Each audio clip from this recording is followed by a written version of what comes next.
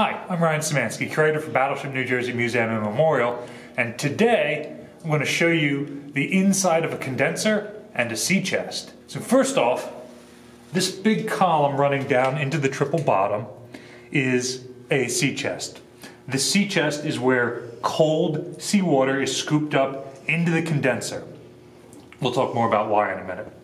But uh, that is a huge opening in the bottom of the ship it's one of several hundred openings in the bottom of an Iowa class battleship that allows seawater in for various functions, whether that's to be uh, inducted into the fire and flushing system, or whether it's to go into the evaporator to be turned into drinking water, or whether it's cooling water like this condenser needs.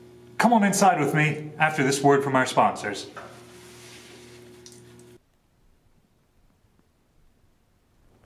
So, here we are inside one of the main condensers. Each of the turbine units has one, that's what we're in, so there's, there's four uh, main engines.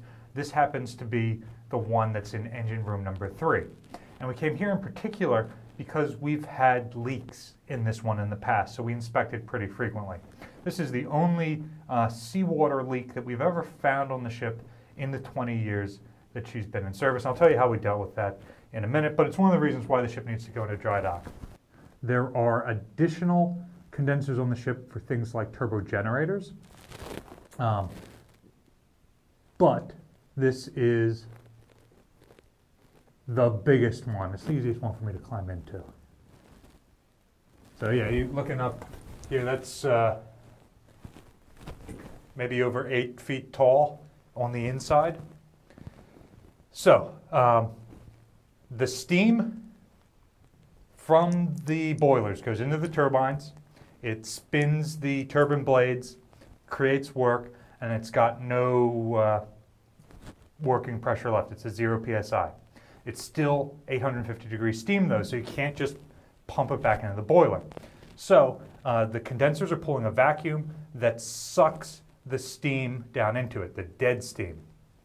And then this opening down here would just be wide open to the ocean.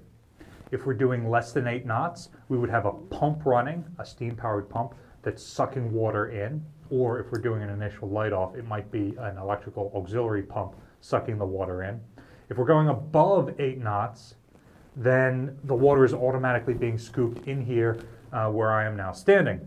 From here, the water goes into these tubes and that is just a heat exchanger so that those tubes, uh, the steam is on the outside of the tubes, the seawater is on the inside of the tubes.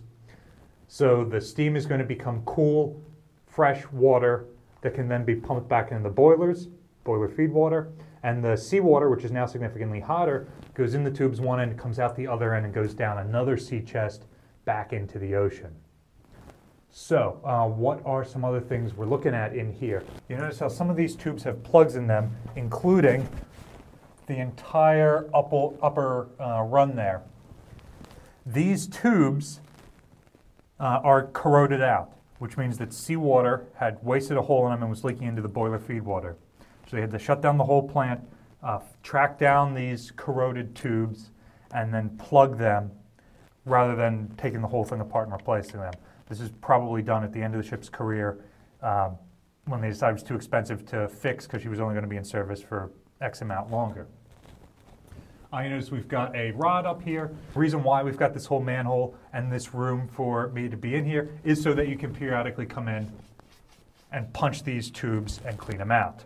Um, usually you pick the smallest guy in the room, not somebody who's one curator thick like I am. Uh, but that's the whole reason why there's a manhole to get in here, uh, like this one back here in the corner. So, let's talk about what happened here. These have valves on them, the sea chests. So you close the valve when the plant is not running, and you open the valve when it is running. Um, when the ship is in mothballs, they would weld this over.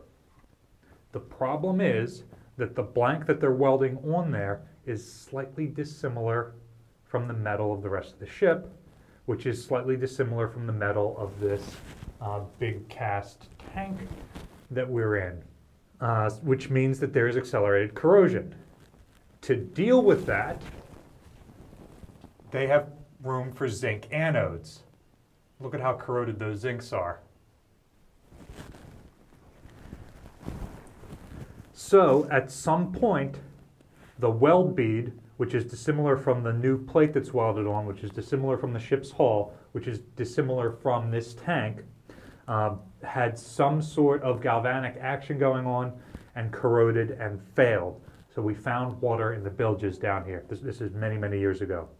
Uh, so initially, what they tried to do was fill this uh, with this caulk that you might be able to see around the edge. And that didn't work.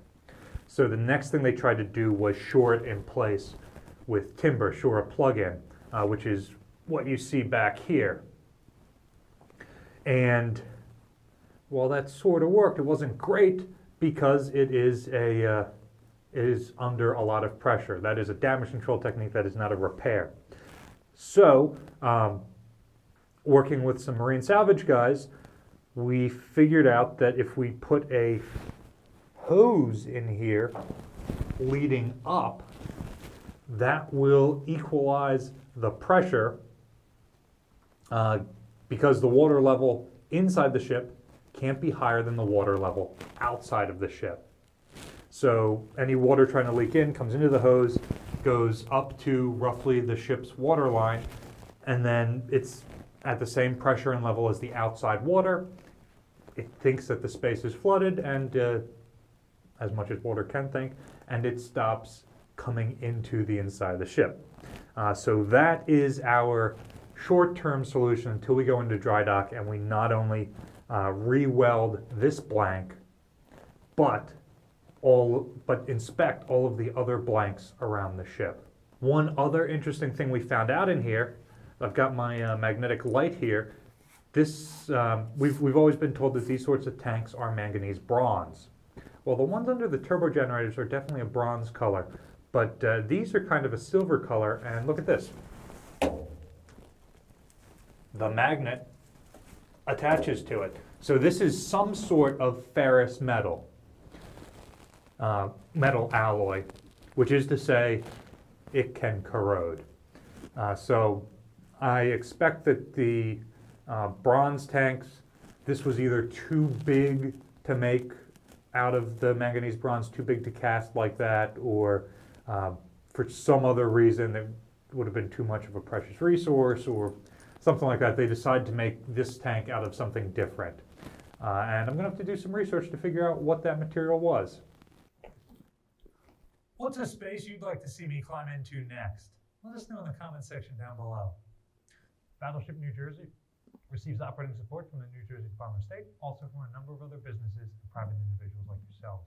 We really appreciate your support.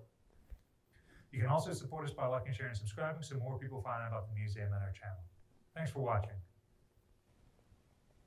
This is how battleship curators are born. We just spring out of our ships fully formed.